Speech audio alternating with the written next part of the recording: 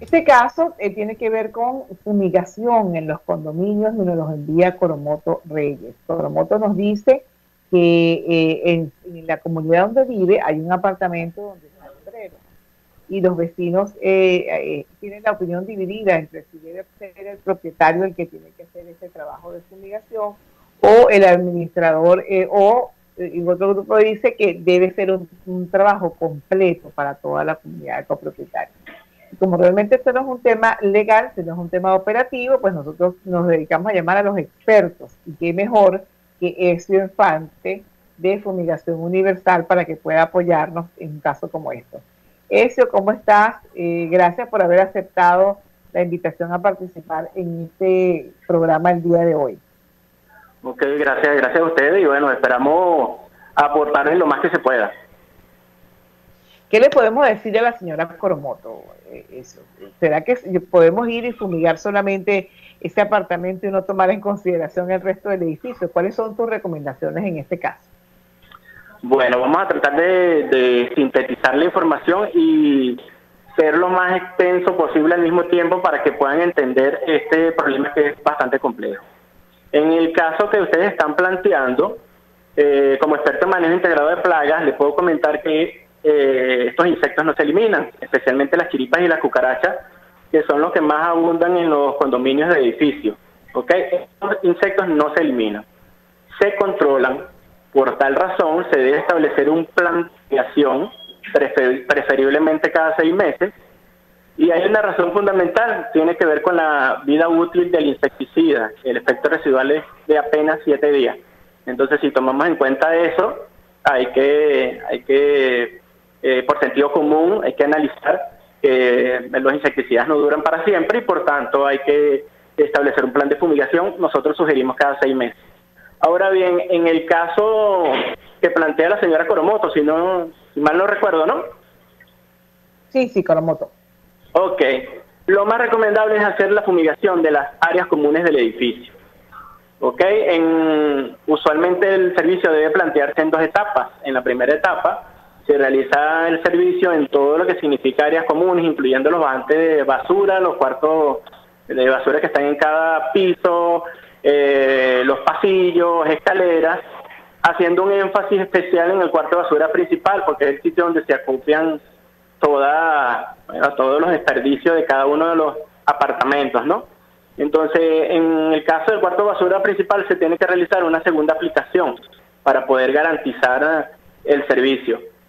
Cuando los propietarios de un edificio no se ponen de acuerdo y no se logra realizar un, servicio de fumigación de las áreas comunes, pues no, no queda otra que el propietario hacer su, su esfuerzo de manera individual.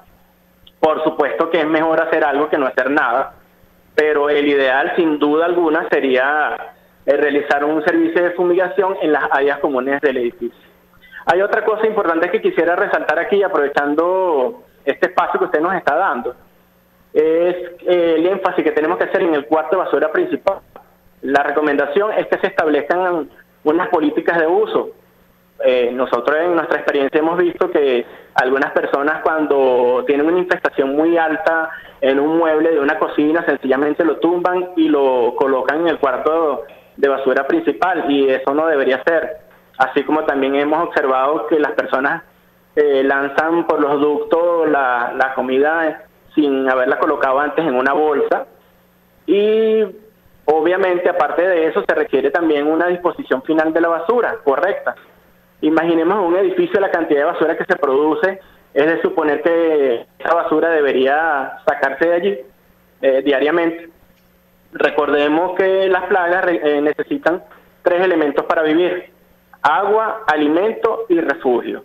Entonces, fíjense, lo que estábamos conversando del mal uso que tienen a veces algunos edificios eh, de los partos de basura, si yo de mi apartamento irresponsablemente quito un mueble porque está eh, defectuoso y aparte de eso tiene mucha infestación de chiripa y lo coloco en el cuarto de basura principal, estaría afectando al resto de mis vecinos porque las plagas nunca se mantienen estáticas, siempre van a buscar la forma de proliferar.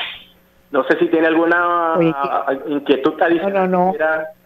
No, súper claro, súper claro eso. Bueno, por eso te llamamos, porque sabíamos que tú no ibas a atender. Mira eso, aprovechando que estamos aquí, le diste esta respuesta a la señora Coromoto tan, tan buena para que tomen decisiones en su comunidad, no solamente en su apartamento, sino en su comunidad.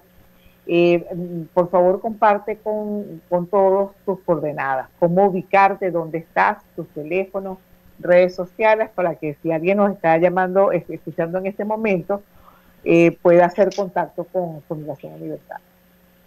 Ok, bueno, en Instagram como arroba Fumigación Universal y también pueden visitar nuestra página web www.fumigacionuniversal.com donde gustosamente le atenderemos. Incluso eh, allí tenemos, tanto en nuestra página web como en nuestras redes sociales, hay muchísimas recomendaciones que pueden, eh, haciendo énfasis en el tema de los condominios, que pueden seguir y que les pueden servir como una guía. Eh, quiero hacer énfasis en el tema de las políticas del uso de los cuartos de basura, porque nosotros sabemos que es uno de los principales problemas que generan la infestación de chiripas y cucarachas.